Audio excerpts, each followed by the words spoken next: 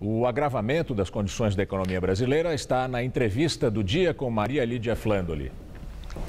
Para uma análise do cenário da economia nacional, entrevisto Samuel Pessoa, professor e pesquisador do Instituto de Economia da Fundação Getúlio Vargas, do Rio de Janeiro. Obrigada, professor, por estar conosco. Bom, acabamos de ver o ministro Levi mais uma vez defendendo a aprovação do ajuste fiscal. E o interessante hoje que, além dele falar da necessidade do corte das despesas públicas, de mais impostos, não num dado momento, ele estabeleceu a comparação com o que fez Fernando Henrique Cardoso naquele período de 1997, 1999, quando havia também ali uma crise e houve a necessidade de medidas consideradas mais duras.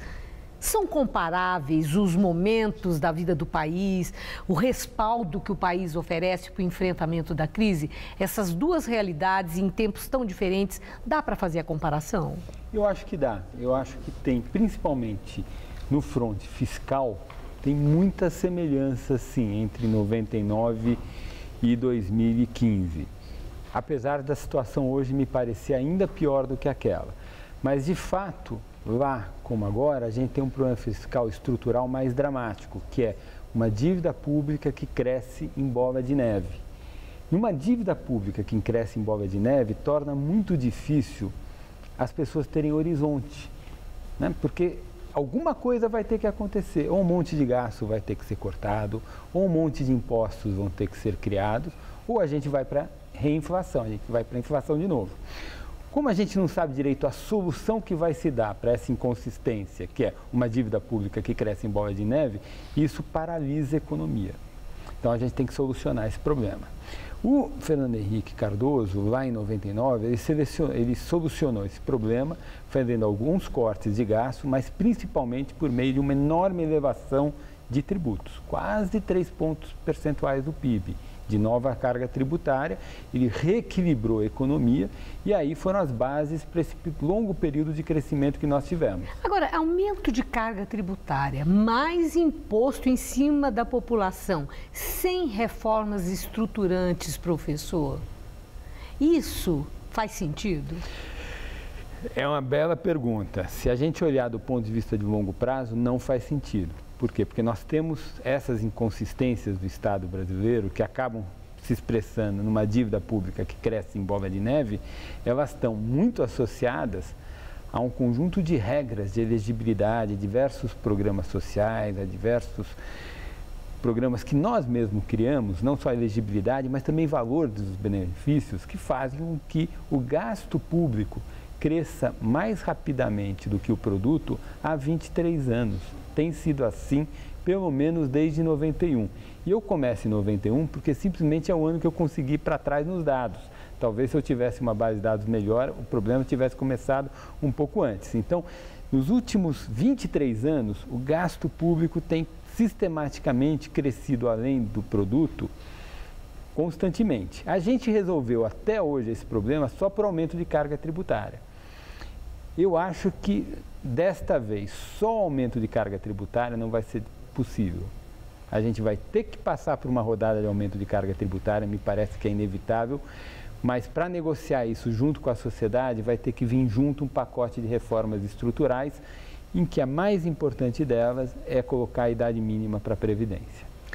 Agora, professor, é, com os dados negativos que têm sido alardeados da economia, o Boletim Fox toda semana, mas não traz piora. notícia boa, é isso, né? Dá uma sensação de muito desalento e, e, e de entendimento que a curto prazo não tem solução à vista. Entretanto, a presidente Dilma, na semana passada, surpreendeu quando ela disse que ela estava vendo uma luz ali é, no fim do túnel. Eu pergunto, o senhor enxerga essa luminosidade? Ou que nós estamos diante de um apagão sem é, condição de superação a curto prazo, a não ser que, de fato, as tais medidas duras sejam implementadas? Tá. Me parece que a presidente, ela até acho que melhorou, acho que de duas semanas para cá, uma semana para cá, acho que ela começou a coordenar melhor a política, tudo muito no início, né? Difícil fazer. Acho que o, o impeachment ficou um pouquinho mais, bem mais para frente, mas sendo muito otimista, o que dá para a gente enxergar é que ela consiga colocar alguns esparadrapos.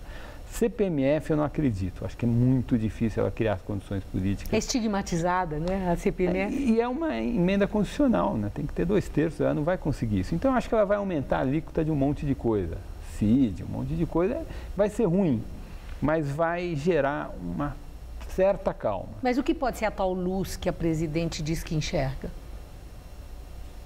É alguma coisa um pouco acima de crescimento zero para 2017. É uma luz muito distante e muito fraquinha. Essa crise é dramática. Se do ponto de vista fiscal ela tem algumas semelhanças com o período 99, segundo o mandato do presidente Fernando Henrique, do ponto de vista de crescimento econômico não tem nenhuma semelhança.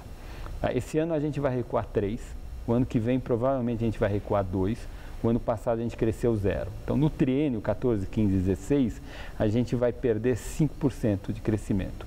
A população cresce 0,8. 0,8 vezes 3 a 2,5, 2,4.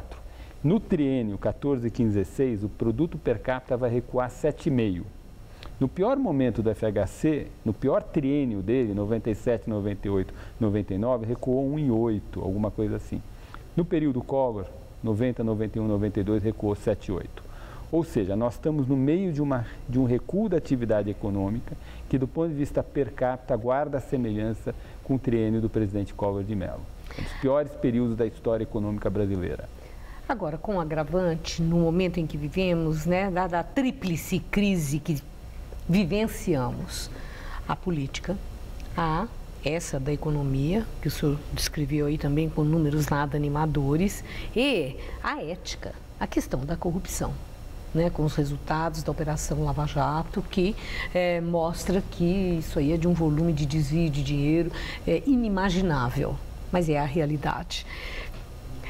O senhor acredita que só com superação da crise política é que se pode reverter as demais crises, tanto a econômica ou como a, a ética?